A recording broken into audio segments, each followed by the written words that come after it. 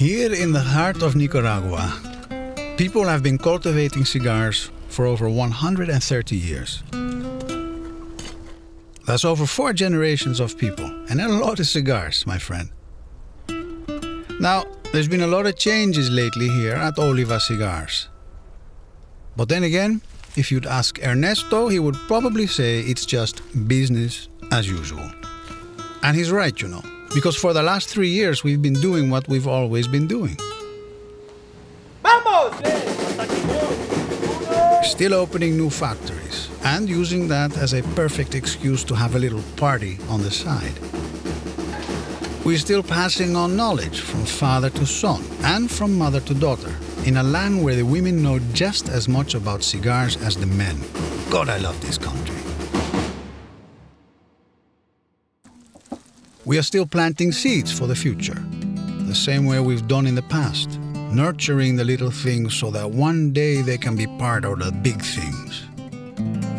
We're still teaching our people to aim higher than they are tall so they can discover how pleasure in the job puts perfection in the work.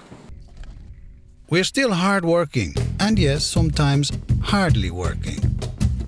But hey, if tobacco leaves get to rest, why shouldn't we, right? And sure, we've updated our procedures into the digital age, just not too much. No one wants to smoke a digital cigar, my friend. Trust me.